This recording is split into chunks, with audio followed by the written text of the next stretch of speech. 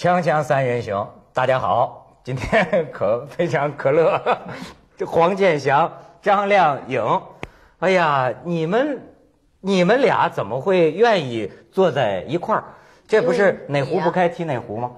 因为我不是因为他吗？哎，因为你，呃，因为我，对你呢？因为你这儿本来就是一个乱八卦的地方，所以干脆就到你这个最八卦的地方来，把这八卦的事情说一说。所以我欣赏你们这个游戏这叫游戏精神。以毒攻毒。以毒攻毒。哎先别说毒的事儿，你知道有的时候绯闻女友在你不在的时候会怎么说你吗？呃，他，嗯啊，怎么说？怎么说咱咱说过吗看一看上一次我留的黑材料，听听啊。上次他在这儿说你，咱们看一下啊。我当时觉得很惊讶，因为当时我看球那段时间我在写球评，那对呀对那天的比赛，因为我正好我坐在电脑旁边，一边看球一边在写我的球评，写着写着突然听到一个很大的声音，不会吧？我都觉得是很比较讶异。虽然说其实他解说足球本来就是那种比较比较激情一点的，但是我没有想到突然一天会变到那么那么，我当时觉得是被吓到的感觉，其实也没什么印象。过去对他是有个印象，就觉得他是一个名人，在我以前看来，我是一个普通老百姓，然后这个人是个相当于是个明星吧，至、至少算半个。啊，当然是明星了，太有名了啊。对对对，但其实我对这个并不是很感冒的。我们有交谈啊，但也就是 公众场合碰到了，大家打个招呼，哎，你好，哎，你怎么在这儿啊？啊，怎么怎么的？哦是这种交谈啊。对，哎呦，那这么说，你们俩今天还是鹊桥仙很难得的聚会啊，是吗？平常就在公众场合见过面。嗯，对不是，建祥交代一下，你到底对他是什么印象？呃，我就是挺喜欢他唱歌。嗯然后呢，我第一次见到他是两千零四年的八月份。嗯我到成都出差转播这个亚洲杯足球赛，呃，转完比赛之后呢，我成都有些朋友说，晚上出去酒吧坐坐吧。啊然后呢，就带带着我酒吧歌女了吗？带着我到了他驻唱的那个酒吧。嗯这些朋友呢都是追，就是很喜欢他的，就说这个酒吧有一个女孩唱的特别好。嗯嗯。哎，而且呢，他喜欢唱外语歌，因为他们知道我是学外语出身的嘛，就说到那儿去听听，就坐在那儿，然后呢就听他唱歌，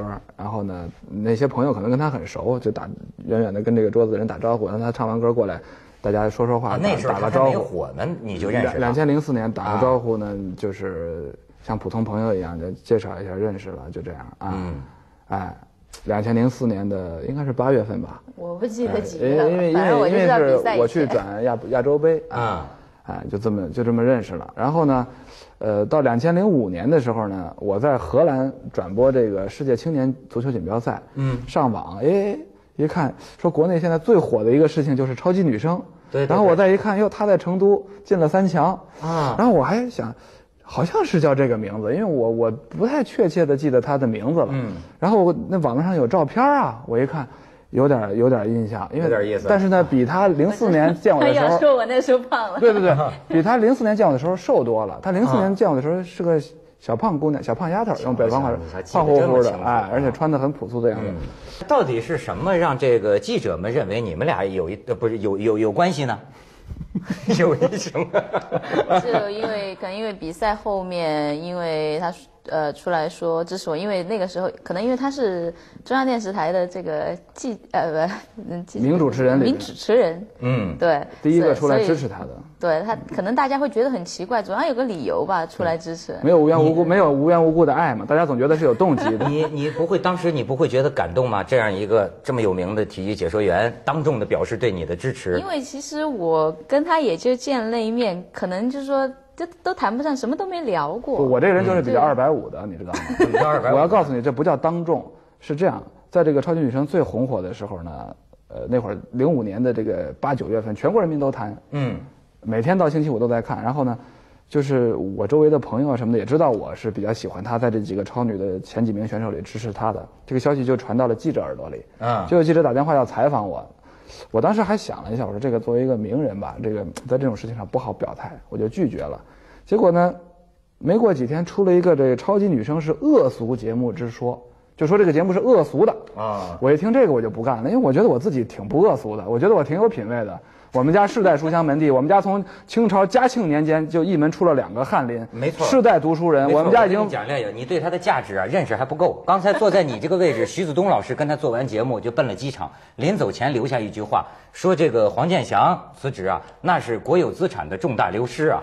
啊，然后呢，我就觉得我一点都不恶俗啊，你凭什么就说这个超级女生恶俗？我这个人就这神经病就来了。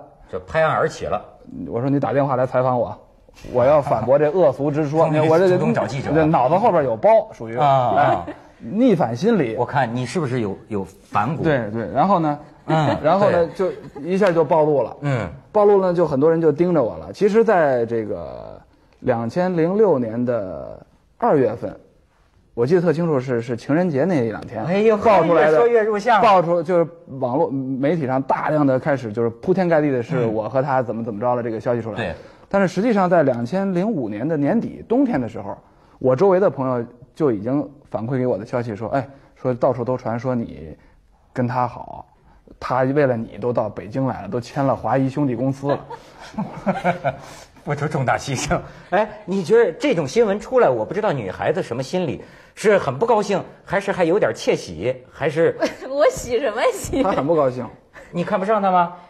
呃，不不不，不是这，不是因为这个，那那我是因为觉因为因为得他很因为我有家有孩子，你离了呀？不不，当时还没有。哦，现在离了。不是那么回事儿，不是那么回事儿。可能因为我自己也是那种呃，因为刚进娱乐圈，很多事情还不是很习惯，不是很适应。特别是那种对于对于我来说是一种，我觉得这种事情有的时候放在我身上是一种侮辱。侮辱，你也够脏的，因为我觉得是没有的事情放在我身上，我觉得让很多人这样误解我。因为我当时其实我平时也上网，我看到了很多对我的，就是因为这件事情，呃，那个时候还还没有还没有后面的评论。我的第一反应，记者问我这个问题的时候，我那个时候反应是很强烈的，怎么反应的？反正我就很生气嘛，就差就差没直接骂人说脏话了。哎呦，真是。不过你们俩刚才讲这个缘分呐，都我我什么缘分 得说清楚。咱们仨都是缘分嘛？不是缘分呢？对对对对对对有朋友的缘分亮颖，这个这个曾经历史上有这样有一个这个美国大明星，男的大明星，就是在这个好像是欧洲的一次选美比赛上跟一个选美冠军，嗯你知道吗？就是因为他颁奖，颁奖给他的时候，这个大明星跟这个女孩子说：“你是世界上最美丽的女人。”从此之后，这个男的糟践了他的一辈子，不是也不叫糟践，这个女的就就因为这一句话爱上了这个好莱坞大明星，一辈子反正非常痛苦，最后是郁郁而终，有这样的故事啊。还有一种，我跟你讲，你干嘛这么看着我？你们是假的，我我我不，你把这故事说明白，是这个好莱坞大明星跟他后来一直是有关系，还是没关系？他单思呃单相思郁郁而终。但呃不是有后来也有点关系，哦但是这大明星啊，实际上对人家不是全心全意的，所以这个女的就非常痛场苦。面话，哎，但是我就说，在当时那种情况，有人支持你。你看，我再给你举个例子，要我给你看看照片，这这是真的，你们是假招子，人家有有这个真的。最近这《南方人物周刊》张伟平拍的照片，当年在长城上，这个张艺谋许诺巩俐，我一定让你演女皇，不是演皇后，有这么一段历、哦历史。你再看下一个照片，这好像是一个萧权保留的照片，认为这里边反映了人与人之间爱与尊重，就当年两个人合作的时候。哦，我给你讲是个什么故事呢？比方说，在俩人分了手以后，在开新闻发布会，记者就问他说：“你找这个巩俐演这个黄金甲吗？”嗯张艺谋当时就说：“说我要找这个中国最好的女演员。嗯那么，巩俐当然是中国最好的女演员。你想这个男的呀，有时候当众的这么说，巩俐当时就潸然泪下呀。这种感人情景，据说在他这个生涯中出现两回。你们俩这事儿就让我想起这个，他也不是当时当众，张靓颖啊，是吧？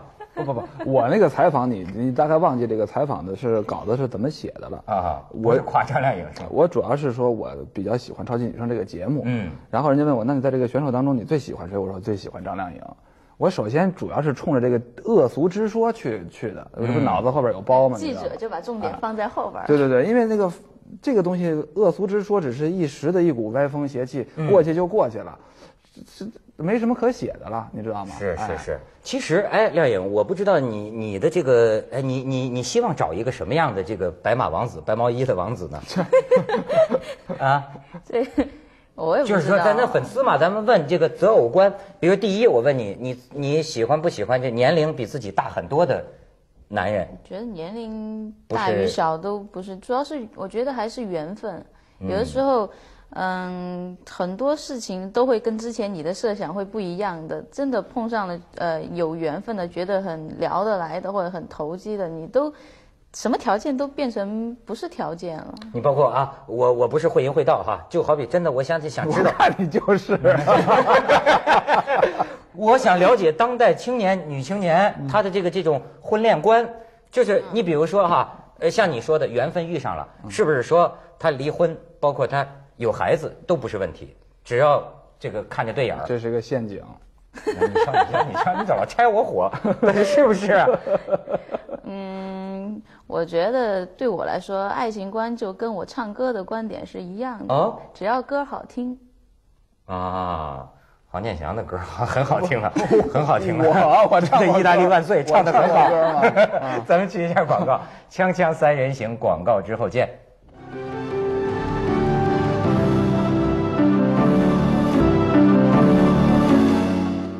们这个节目还是严肃的啊，这个没看出来。没看 这俩，我你看我都准备材料，哎我跟你讲不是，你这个人啊，要有点感恩的心。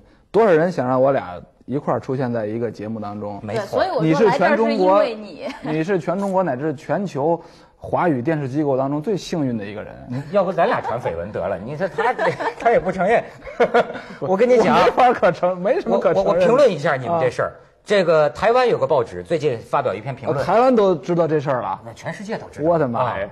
绯闻年代说感叹呐、什么时候开始我们看待一个人的方式就剩下这样的角度？无论他是谁，无论他的性别，无论他的工作是什么，无论他是怎样一个人，无论他专业上的表现如何，到最后我们看待一个人就剩下这个角度，就是你们俩有什么关系？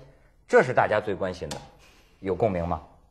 所以我说我们是个严肃的节目。严肃严肃，其实还不光是明星之间有这个问题，为什么我说这是一个值得很严肃的问题呢？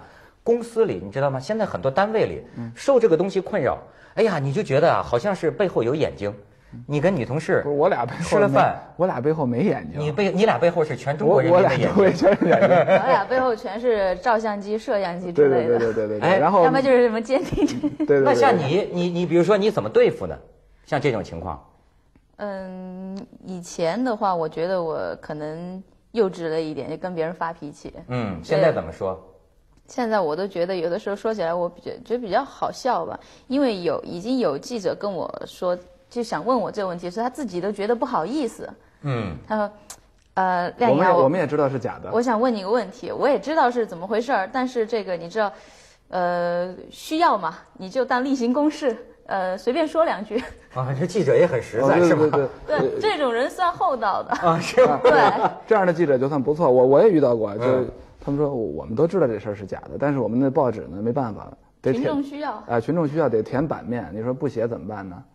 哎呦，这谁让谁让谁让你俩都这么红呢？现在啊，这真是，哎要付出点代价，对对对是吧？对对对对但是我刚才听你这么说呀，我就想起谁呀？我最近喜欢上一女的，嗯我也绯闻女友。不过黄健翔说，我喜欢这个人很安全，嗯，他因为他死了，对对对，我说他这高明，对对他他这特高明，我就那天看了个纪录片，我喜欢也是金嗓子当年的周璇。金嗓子喉宝，哎，啊金嗓子喉宝在这周璇做广告。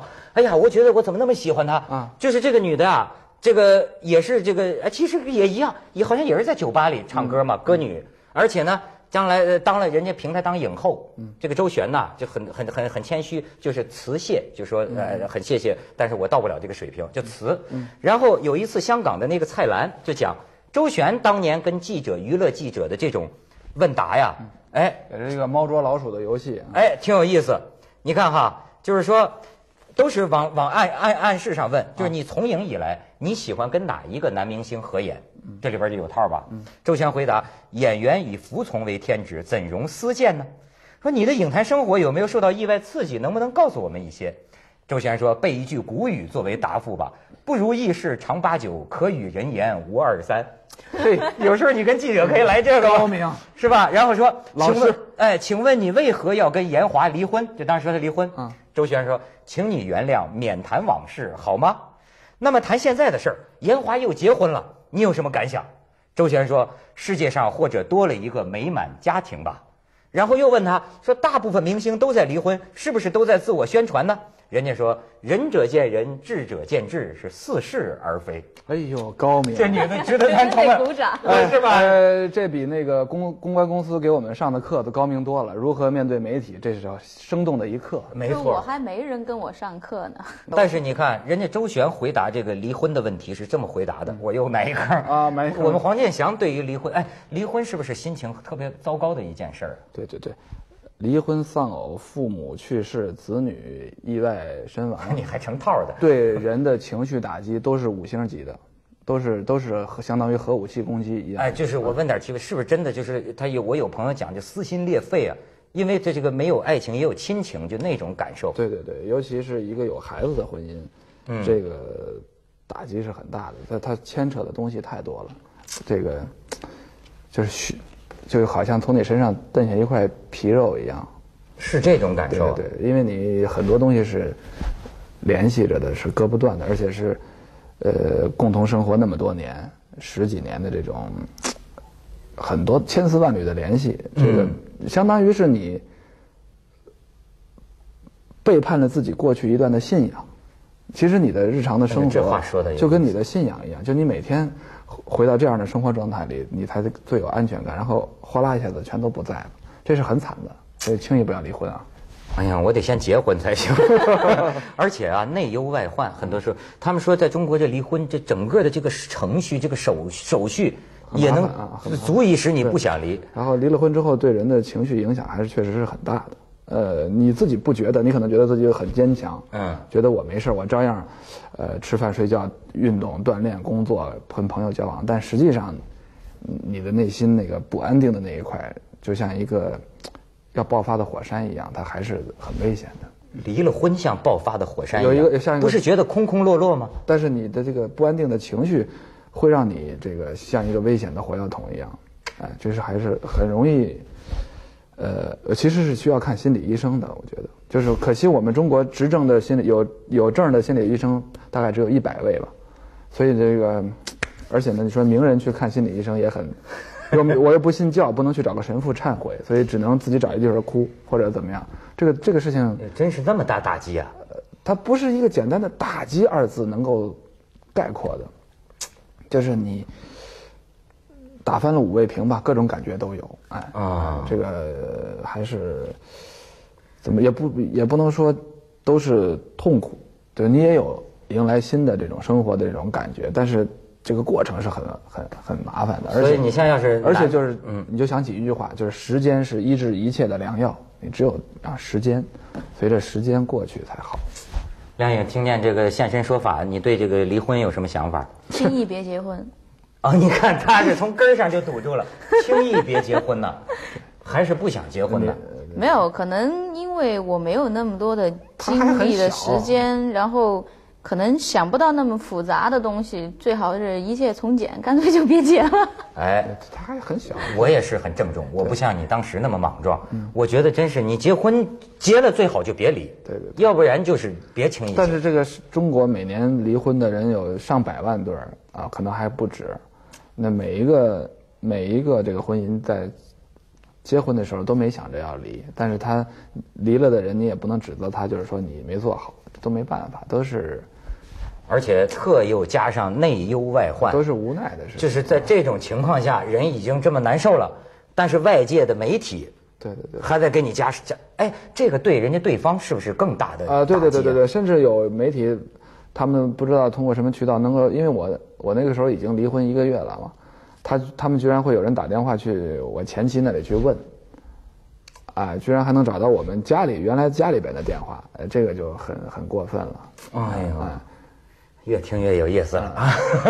锵锵三人行，广告之后见。呃，亮颖刚才去广告很深沉的说，其实照你这么说，你是个很有家庭观念的男人呢。呃，其实我俩之间确实没有什么交往，我我们俩我们俩在一块儿见面不超过七次，说话不超过不超过一个小时单独说话，嗯啊，不超过加起来不超过。不超过一百句可能，对他根本不了解我，可能今天在这儿，我们俩谈的话是最多的一次。哦呃，而且他他就是说他知道一点，比如说我的这个什么对离婚的看法什么，今从来没有才是一个初步的概念。没准将来成真了，那咱就是开始了。现在就是 哎，这里有水啊，小心啊！又回音回到了，不不是这个确实啊，你们俩坐这儿，我觉得就是一个话题，嗯，就叫绯闻男女。现代社会啊都是这样。你别说他们呃讲说当年这个巩俐和张艺谋的时候，在社会上引起争论，你知道跟你们的感觉不一样。那个时候巩俐也是身负道德压力啊，很多压力。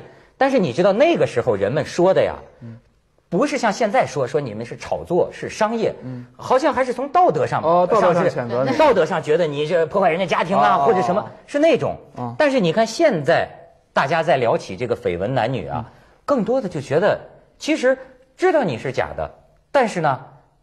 就是一起这么搅和，好像这么着觉得世界很热闹，或者大家有有有谈资。就就大家当一个乐子，闲事儿不够多。大家当一个乐子啊。那你说，你们作为被大家当成乐子的这种当事人，又是一种什么心情呢？